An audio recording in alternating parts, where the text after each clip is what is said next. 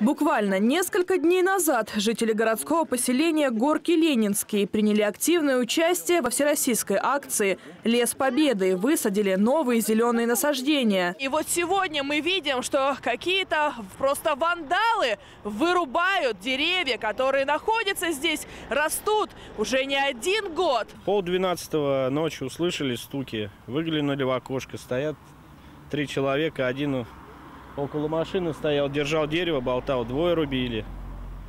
Мы оделись, вышли, они начали уже уходить в сторону нового шоссе, деревья уже были срублены, валялись. Злоумышленники срубили деревья клена, липы и осины, которые росли на южном проезде более 10 лет. Местные жители возмущены. Эта территория была местом прогулок. Совсем недавно зеленая зона пополнилась новыми елями.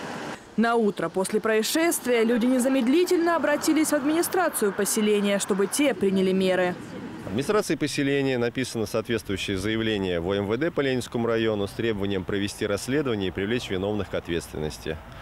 Э, как нам удалось выяснить, несколько лет назад этот участок был предоставлен в аренду под строительство автомойки. Жители поселения категорически не согласны. Опрос общественное мнение э, подтвердил, что жители против. Это жилая тихая зона. Здесь автомойка совершенно ни к чему, ни к месту.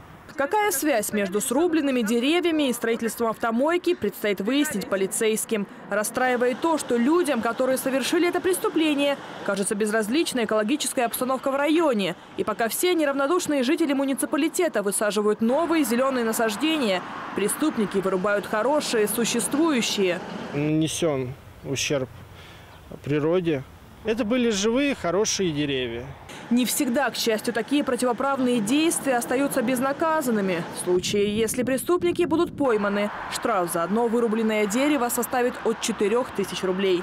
Юлия Погосян, Евгений Петров, Екатерина Чернышова. Видно ТВ.